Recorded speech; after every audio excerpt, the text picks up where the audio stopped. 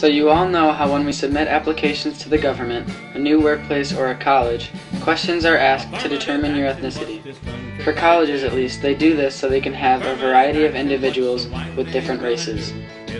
Let's take a look at what happened on this college's campus that shaped our current admissions process. I have a dream that one day this nation will So we all know what MLK did for this country. He pushed for equal rights so that we can all live in We equality. hold these truths to be self-evident that all men are created equal. MLK's career led to affirmative action, which was used to give the lesser half, the otherwise known as minorities, equal rights. But this policy then interfered with the entitlement of whites. Soon after this was created, colleges from all over started using what was known as the recruitment program, which was the effort by legislation to improve education or economic opportunities for disadvantaged groups.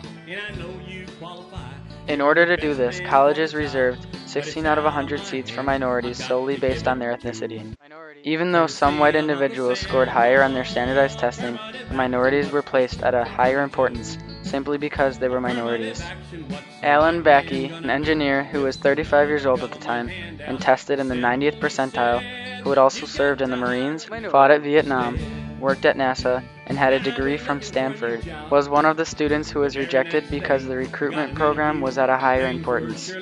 After repeated rejection, Bakke was furious he had been denied, so he decided he would take it to court and sue the University of California. First in California courts, then he would take it to the Supreme Court.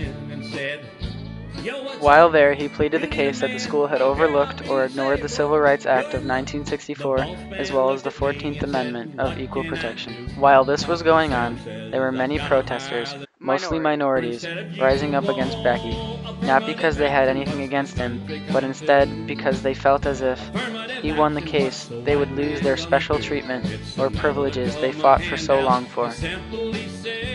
Also, in this time span, there were other similar cases, such as Gratz vs. Bollinger or Grutter vs. Bollinger. In all cases, the student was denied admission because the schools had overlooked them while heavily relying on reverse discrimination. So the Supreme Court had come to a decision, 5 to 4, with Bakke coming out with the win. The court ruled that the university's quota system was indeed against the 14th Amendment. They made it so that race could still be one of the several deciding criteria, but not the one and only factor. Basically, the court did what it could to make this mess go down as a win-win. They ended up getting Bakke into the school, along with adding a minor change in the way the admission process works to make him happy. And on the other hand, keeping affirmative action in place to aid minorities through one of their hardships. To this day, colleges or any other schools want racial diversity, so they are still using affirmative action programs with Bakke restrictions, along with a well intentioned quota, which differs from a regular overruling based on ethnicity, to making it just a factor in the many admission decisions. Racial injustice still continues to this day, but it is to a point that is constitutional.